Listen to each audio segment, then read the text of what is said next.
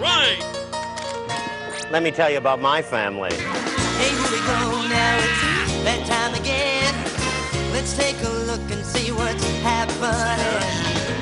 Roller coaster ride, no surprise. It's life with Louie, Louie, Louie.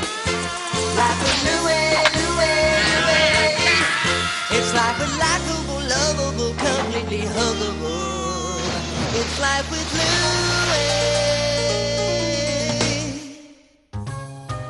There was only one difference between growing up in my family and being an indentured deckhand on a fishing boat.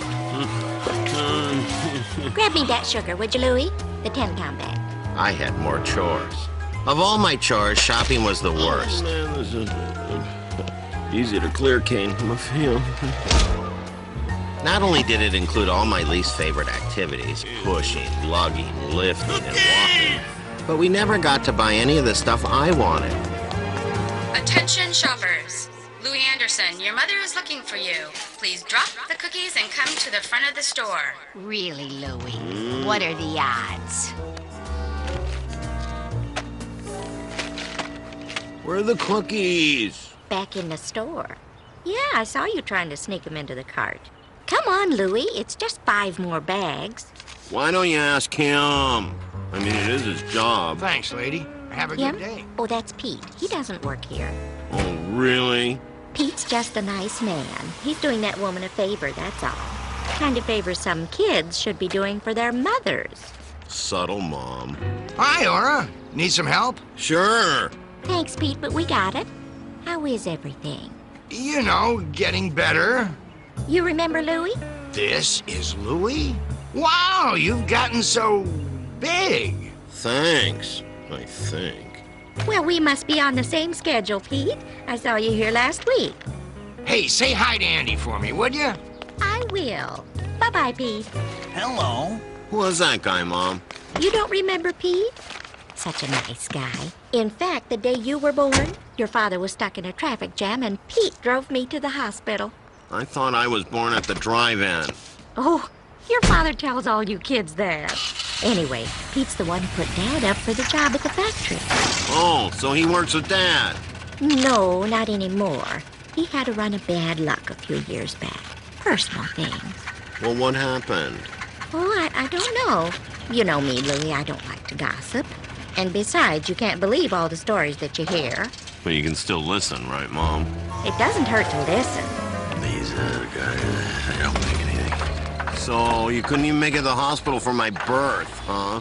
Huh? I thought that was our little secret. Well, what else are you keeping from me?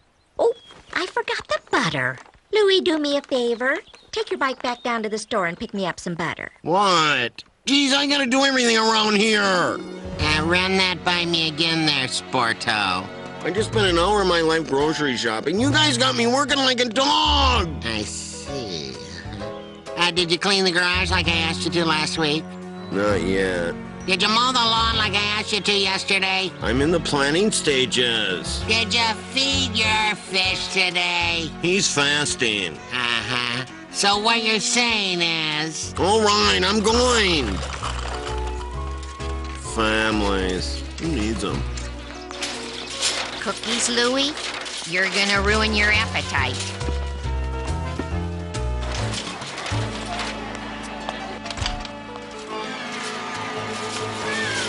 Huh?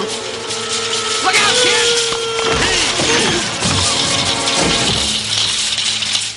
Gee, thanks. That was a close one. Are you all right? Almost tossed my cookies. It's perfectly normal to feel sick after a life-threatening experience. No, I mean these cookies. Here, have one. You shouldn't share cookies with strangers. Could be dangerous. Didn't your mom ever tell you not to talk to strangers? Of course. But you're not a stranger. Hmm, I live with stranger people than you. Okay, okay. So maybe I'll just have one. How cool is this? Well, it's not much, but it's home. Wow, you don't even have to make your bed. Nope. You got it made. Uh, sorry, I got carried away. You ate the whole box. Well, it has been a while since my last real meal. Hey, I got an idea. Why don't you come over for dinner? I couldn't impose like that. Impose? You saved my life. Here's the thing, Lou. I'm not exactly thrilled with where I am in my life right now. I like your folks, Lou, and I don't want to have to lie to them. So don't lie. If I come over for dinner, they're going to ask all those questions I don't want to answer. Where are you living? Where are you working? What's that smell? I can't do it, Lou. But you're hungry, right? Hungry? I could eat a horse. Well, it's your lucky day. My dad's cooking tonight. Dig in, Joe. Thanks.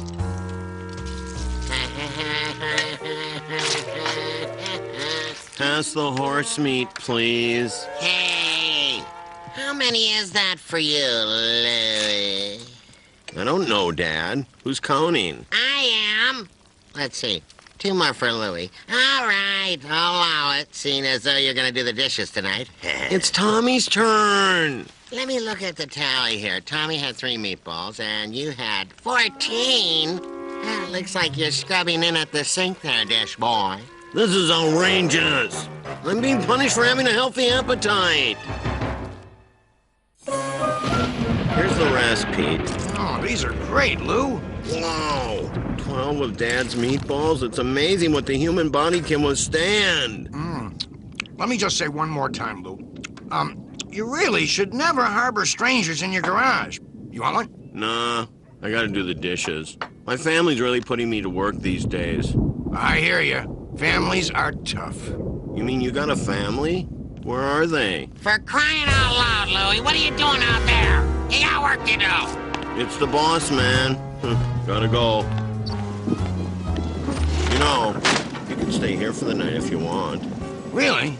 Just one thing, you have to be gone by the time Dad leaves for work. Whoa, I'm not exactly an early riser. No problemo. I'll take care of it. Oh, and Lou, uh, I like a good pillow.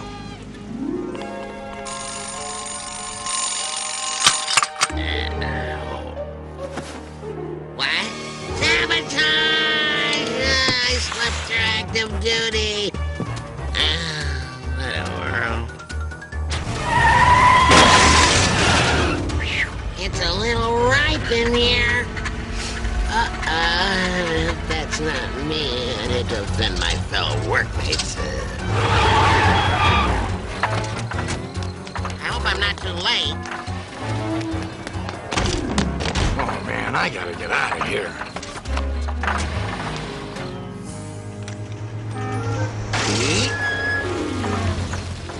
Well, if it isn't the family thief. I was late to work today, Louie. You know what happens when I'm late? You miss out on the free bagels? The whole factory almost shut down. Tractor engines went unwidgeted. If you wanted to borrow the clock, all you had to do was ask. And you would have just given it to me? Not a chance. But the point is, Andy, telephone. I'll finish with you later. Honey, have you seen my goes down pillow? Wow, your dad sure runs this place like boot camp. You're not kidding. You know, we have to wear our dress whites on holidays. That's why I choose the open road. No rules, no worries. So, what's for dinner tonight? Let's see. It's Tuesday. Hot dog stew.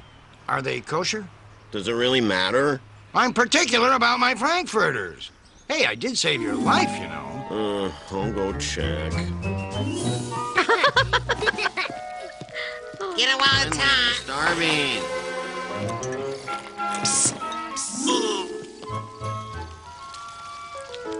Is there any more stew? Help yourself, Louie. You know, I think this boy has a tapeworm. Either that or a wooden leg. He's just a growing boy, that's all. Maybe so, but he's growing in the wrong direction. One more time. Heat the pie. And then I want one scoop of vanilla ice cream on top of the pie and two scoops of strawberry on the side. Anything else? Yeah, you got a different blanket? I'm allergic to wool. You know, the Grunwalds down the street have a much bigger garage. I should have felt good. After all, I was helping someone less fortunate. However, my single act of charity had doubled my workload around the house. Here you go, Lou. Thanks a million. Uh, hey, Lou, how about a glass of water? I promised Pete I wouldn't tell Mom and Dad about him, but maybe there was another way to help him onto his feet A little agua, huh? Hey, pal. And off my back. Pete, you gotta get up. Oh, just five more minutes. No, Pete. We got a chat. Mono Aboyo. You happy here? Mm, as a clam. Great. What I was wondering, and uh, please let me know if I'm on a line, but what do you do about money? That's easy. I don't have any. What about a job? Look at me, Lou. Who's gonna hire me? I'm a mess. True, but maybe I can help. I can't believe Dad wears these. Jeez! No wonder Mom fell in love with him in his uniform. See? I told you. You look like a new man.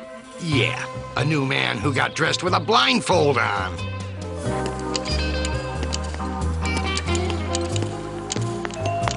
I recognize that horrible golf outfit.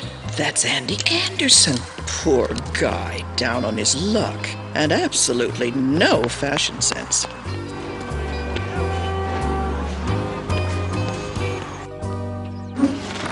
How'd the job hunt go today? Yeah, not too good. It's a tough market out there. But I gave it the old college try.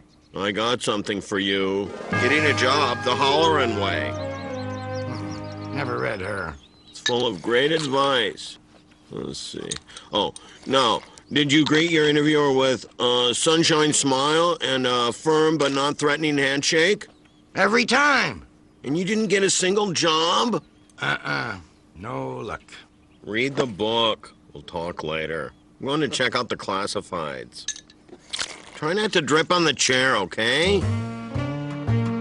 Hmm, garage guests. Can't live with them, can't recycle them. Hey, Dad, can I take a look at the paper? What for? Trying to keep up on world events. Oh, classifieds, huh? You're not thinking of putting me up for sale again, are you? There goes my master plan.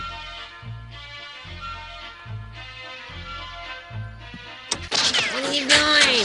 That was Swan Lake. Change it back. Turn it, Louie. I missed the pirouette. I could pirouette for you if it'd make you feel better. All right, let's see one. What? You promised me a pirouette, and I want to see it.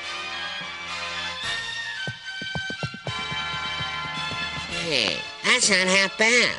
Dad, you're losing it. I'm just kidding you. Now, how about a plie? Gotcha, kid.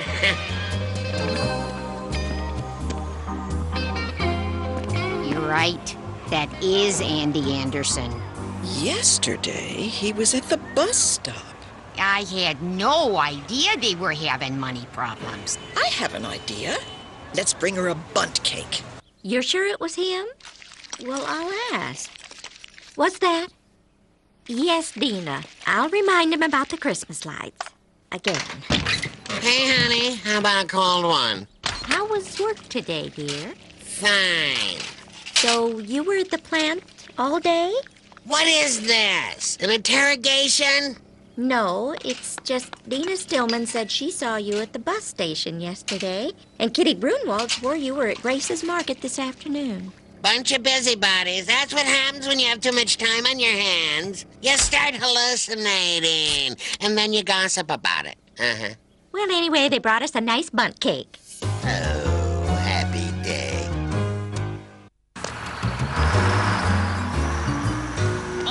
Hey, Lou. Close game. Yeah. So, I was wondering, since we got a few minutes, how about we go through the classifieds? Whatever. Your house, your rules. Come on, Pete. It sounds like you don't even want to try. It's not like you never had a job before. You used to work with my dad. That's right. Twelve years I worked there, and then the company cut back. I lost my job, hit the street, and interviewed for every job I could find. After all, I had a family to support. So, what happened? A whole lot of rejection. So I stopped looking. I lost my house, I lost my savings, lost my family. How do you lose a family? You know how you get report cards in school? Well, did you ever get a really bad grade, like a D or an F? And you had to bring that report card home, show it to your dad so he could sign it. You kidding? I tried to forge my dad's signature on those. Now imagine if it were the other way around, and your dad was in school and he had to show you his report card. And now imagine he shows you a report card every day, and every day it's an F. Every day for three years. My wife took my kids to live with her mother in Chicago. I chose to stay. Hey, Pete, Thanks again for saving my life.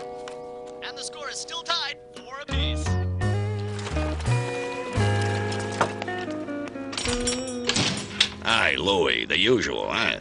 I'm a little short, Mr. Stevenson. Uh, just give me a half a dozen. Now, while you're at it, I'd like to inquire about the job. Now, Louie, don't start with me. You know I can't give you that job. Number one, you're too young. And number two, you're too, uh... I'm too what? Well, let's just say you like your donuts too much. I mean, you'd eat up all the profits. No need to be rude. Not even asking for me. It's for my friend. Has he ever made a donut? I don't think so. Oh, sorry, Louie. I'm looking for an experienced donut man. Hmm.